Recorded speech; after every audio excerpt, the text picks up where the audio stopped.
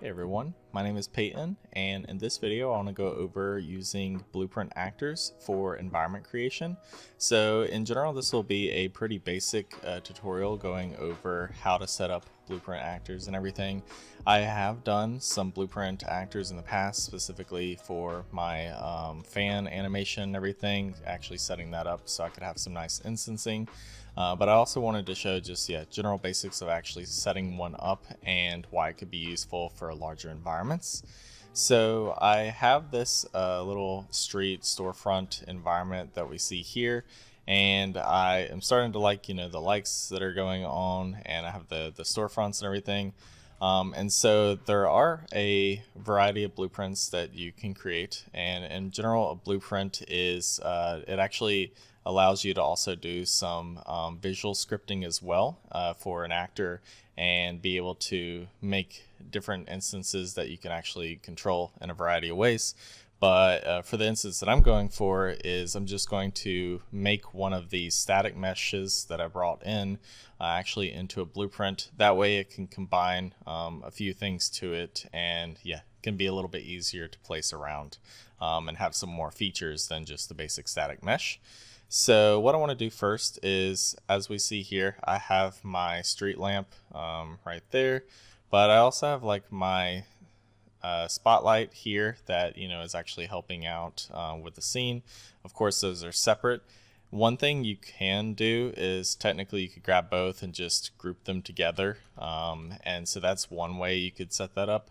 But if we're wanting to, you know, think about, okay, what if we want to change stuff pretty easily? We don't have to click on all of the different uh, lamps and actually control it that way. I think having a blueprint actor that we place around can be really nice um, and really save yeah, a good amount of time. So I'm going to go down here to my actual content browser and I'm going to right click and go to blueprint. And what I want to do is basically just make a blueprint class and then actually click on actor. So um, as I said, there's a ton of different blueprint types that you have. Your character that you run around in this scene is a blueprint. Uh, and yeah, player controller, everything else, but I just want to focus on an actor blueprint. Um, and as you see here, it's an object that can be placed or spawned into the world, and we can really expand upon, you know, what that really means and what all it entails. So I'm going to click here and now have a blueprint. I'm going to call this one lamp uh, post and there we go. And so if I double click on this, we actually open it up, you'll see that we currently have nothing in it. Um, so what we want to do first is of course actually get our street lamp in. So I'm going to just drag it and drop it in here.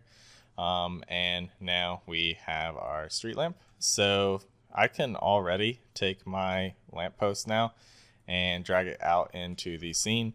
Uh, one thing that we might notice is if I check the actual scale rate here, looks like I have a 1.25 um, in the main scene. So what I could do in here also is just actually change that uh, scale amount. So if I locked the scale and do 1.25, um, you know, there we have that scale uh, just in case I wanted to scale it actually in here. And so now if I compile it, it should be the same height. So um, blueprints really allow you to be able to like edit everything inside of your entire scene that has those different actors. So instead of needing to actually go into Maya or something and do adjustments, uh, some of those things that we can't do, like editing a light um, and the intensity of it or the color of it, uh, it's really nice to be able to have it towards instance throughout the level uh, once again. So I'm going to go ahead and actually um, can delete this one real quick. And I'm going to select all of my streetlights in the scene that we have here. And actually, I can go over here and I can uh, right click and then say uh, replace selected actors with my lamp post blueprint. So there we go. And yeah, I just need to make sure the scale is fixed because I actually did the scale inside of the blueprint itself. Um, so now they are the exact same. And one other thing I need to do is actually get rid of all those spotlights that are in there um, so far. So there we go. Now all of these are actually our blueprints. Um, and I can go ahead and double click back on my blueprint again and you'll have the of course the event graph which this is where you can do some visual scripting um, have some certain commands and everything. Uh, but I'm not really going to focus on that right now. Uh, what I want to do is just keep it really simple for this video.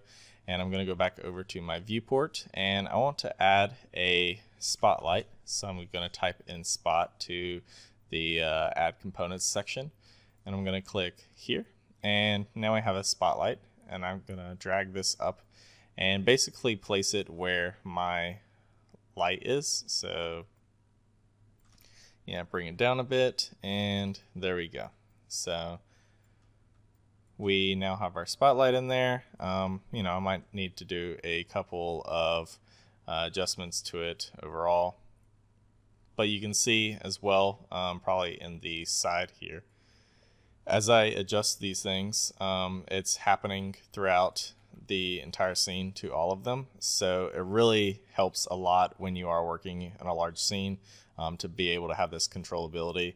Uh, I'm going to set my light to actually be temperature based so we can bring it down to maybe 3500 um, Kelvin and yeah and then what I'm going to do as well have my attenuation radius. That way it's actually hitting the ground.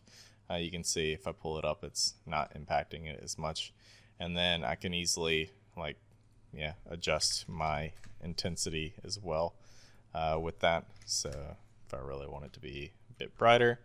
Um, and it's really nice because the, the placement of it is going everywhere um, throughout the entire scene. So uh, again, that's really the emphasis that I'm wanting to, um, yeah, show in this one at least is how uh, it's really nice, especially with large instancing like this, um, to where you can really iterate and work throughout your environments um, quite quickly when you do set up things like blueprints.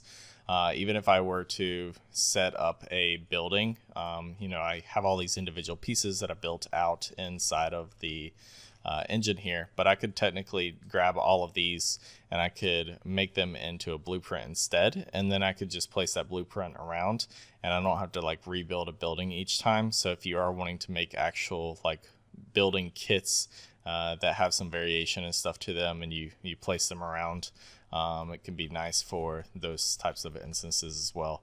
Uh, or even if you were doing um, some smaller like prop set dressing and you didn't want everything to actually like yeah be um, let me show an example of this uh, so if you didn't want everything to be like combined into a single mesh and you were keeping things separate overall uh, it could be really nice to do the prop set dressing in here um, so like if I had a uh, an effects where I had some um, maybe some bugs or something flying around this light. Instead of having to manually place those, I could also place them into the blueprint and uh, it would, yeah, just kind of keep things, um, you know, focused around this one specific asset. So um, yeah, that's kind of the main goal of this video is just to show the simplicity of it and how to set it up, why it can be useful.